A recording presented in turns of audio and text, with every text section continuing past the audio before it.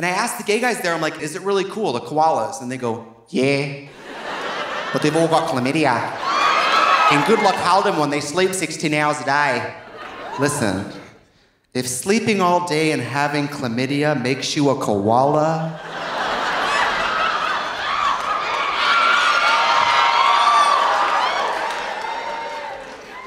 why don't you put this on the endangered species list?